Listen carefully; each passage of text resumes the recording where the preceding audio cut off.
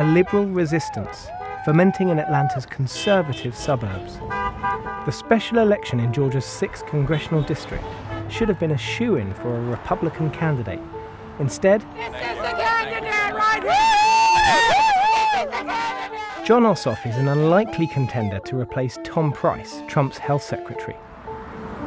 This is a district that's been Republican since 1979, and Ossoff is a 30 year old documentary maker and a Democrat. He's fundraised millions online from liberals across America. I couldn't be prouder to be doing this for you. And prompted local Democrats to emerge from the closet. Have you ever done this kind of thing before? No. This is my first time participating in anything like this.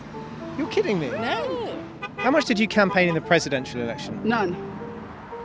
These suburbs may be Republican, but they're also affluent and educated, far from classic Trump country. I met with Dick Williams, the conservative editor of a local newspaper, for the inside story. It starts with the disquiet with Trump. The Democrats saw an opportunity. A young man named Jon Ossoff, he said, you know what, if I could raise enough money, I can do this. How significant is it that through Democratic and liberal groups he's managed to raise $8 million? It's unfathomable. Look, I live in the district, so I've saved all my mail. Mm-hmm. This is about 40 pieces of mail, mm. an average of two a day. Half are Ossoffs. If you figure that each of these flyers to reach the whole district probably costs about $20,000. Vote for Jon Ossoff. there you go. we just violated a whole bunch of stereotypes. The guy in the pickup truck should be a Trump voter. He should be a Georgia conservative. Therefore, he should be for Trump. But this guy in the pickup was for Jon Ossoff. So what's so going on? It, it's all turning upside down. That's why it's the most fascinating race I've ever been privileged to cover in 40 years. It's just fascinating. I grew up here. Ossoff's millions have allowed him to blanket the airwaves with slick TV ads. I'm Jon Ossoff, and I approve this message. Jon Ossoff, not honest, not serious. Republican PACs are retaliating with their own ads, digging up embarrassing footage from Ossoff's college days. I'm Han Solo, Captain of the Millennium Falcon. Jon Ossoff, bad for Georgia, and really sucks at impressions the Fulton County Republican Breakfast, the sort of event where Republicans would expect to decide who's next in line for such a conservative seat. But not this year. Jon Ossoff's campaign, uh, they're not lying about the support that they have. Uh, they have about 300 paid canvassers out there doing the work that we all have to do ourselves. It's never been more important that you go out and vote, and never been more important that you get other people to go out and vote. Thank you very much. Why is everyone talking about the Democrat in the race? Because we've never had to combat that before. For the first time, we're going to have to get out there and really, really hump it to get the job done. Did you think that you were going to be trailing a Democrat who has over 40% of the vote in polls? No, of course not. Nobody did. Good afternoon, everybody. One reason Republican candidates are in trouble is that there are so many of them, they're splitting the Conservative vote. Of the 18 candidates in the race, 12 are Republican. The Republican list is so long that it includes a historic first a Muslim candidate. I'm Muhammad Ali, the lightweight. And if I'm elected, I'll fight like heavyweight in Washington, D.C. Muhammad Ali invited me to join him on the campaign trail. It's anybody's race. You think you've got a chance? Absolutely, yes. Otherwise, you know, I won't be doing this. But do you think that running as Muhammad Ali as the first Muslim Republican to run for Congress helps you or hinders you? I mean, uh, I don't think it, it matters one way or the other. You don't think you've got a bigger hurdle to climb being a Muslim candidate? No. Not in the current era, in the current mood no, of Islamophobia absolutely not. It gives me a better reason to run. People need to see that I'm as American as anybody else. I'm going to do a quick run through important figures and I want you to give me your rating of them 10 out of 10. Okay. Lincoln. 10. George Bush Jr. 7. Hillary Clinton. 5. Donald Trump. 5. Jon Ossoff. Zero. It's easy to see why Republicans don't like Ossoff. He's a political newcomer accused of embellishing his resume. Bankrolled by progressives, but running a centrist campaign. There we go, okay. He's found himself in the right place at the right time. There's two things that occur to me about this event. The first thing is that where were these people during the presidential election? The second thing, a lot of women here. Let's get going. This female army will be crucial if Ossoff is going to secure the more than 50% of votes he needs to avoid a second round runoff against the leading Republican. Very nice to meet, you. to meet you. We actually don't work for the campaign. We're with a grassroots group called Pave It Blue.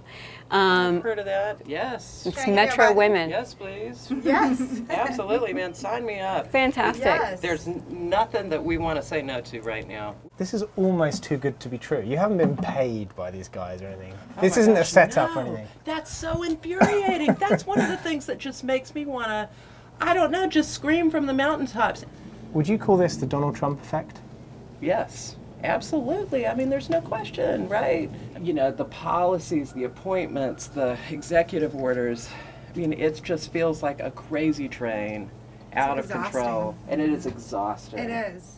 Bye, guys. Trump's presidency may be exhausting, but it's also revitalizing left wing politics. And done. All right. So it's an all-woman organisation. It started less than a month ago. And how many people, in addition to you three, do you have? 1,200. 1,200. Yeah. Why is there so much more enthusiasm for this young male candidate than there was for a female presidential candidate? He's fresh, he's new, he's not jaded. Um, there are no stories to talk about about him. He's Yeah. our hope. Do you think though it's easier to run if you're a politician as a man, and that's very unfortunate and sad about I, America? I do believe Yes. Absolutely. I hate that that answer is true, but yes. I wanted to know if Ossoff was taking all this good fortune in his stride. I hitched a ride to find out. Surprised or not? Surprised. It's been a whirlwind, and it's taken on a life of its own. Are you pretty much the only Democrat in the country who's happy that Trump's been elected? Well, I, I I wouldn't have run um, if uh, there'd been another outcome in the presidential race. I guess to put the question a slightly different way is, do you feel fortunate to be the beneficiary of this moment in that, you know, it seems like you are effectively a, a lightning rod for a huge amount of pent up frustration among Democrats across the country, right? I wouldn't put it that way. Uh, what I feel is um, this grassroots phenomenon that's developed here in Georgia right now isn't about me. It's about the times that we're living in and the kind of community that we are here. And You say regardless here, of the one, one important thing, you say here in Georgia right now, but 95% of your donations come not just from outside of the district, but outside of Georgia. These are people in California or New York or wherever well, I say be. here in Georgia right now because, for example, um, a lot more Georgians have chipped in to my congressional campaign than to any of the other campaigns right now. Mhm. Uh, it's nearly 200,000 people Mm. who have given an average of $42. So much is becoming devoid of policy and substance, and it's becoming about viral social media internet phenomenon. Do you think you are one of these internet phenomena? No, in fact, I think that um, uh, my team and I are running an unusually substantive campaign. Uh, there's been more than $5 million spent by dark money, unaccountable super PACs based in Washington uh, attacking me on the airwaves here. And nevertheless, I'm still talking about how to grow the local economy, how to prioritize biotech, medical research, high tech research, how to expand access to export markets. Those are substantive economic proposals that will benefit the community here. Some of your critics say that you're very cautious and overly measured and deliberative in the way that you talk, like a classic politician. That's the reality of running for office in America these days. You have to both say what you mean and what you feel, and make sure that you don't offer up uh, red meat for the army of opposition researchers to package into an attack ad. It's unfortunate that that's what it's come to. Um, Sounds tedious. You're going to have to be concentrating all the time. I don't know if it's tedious, but it does require concentration. And where are we going to now? Uh, you guys are going to a uh, concert, I believe. Is that right? And I'll be joining you about 20 minutes later. A, a musical concert. Yeah. Don't dance. First rule of politics. You can be as careful as you want about what you say, just don't dance. And I should come, you know, I, I think it's interesting that um, uh,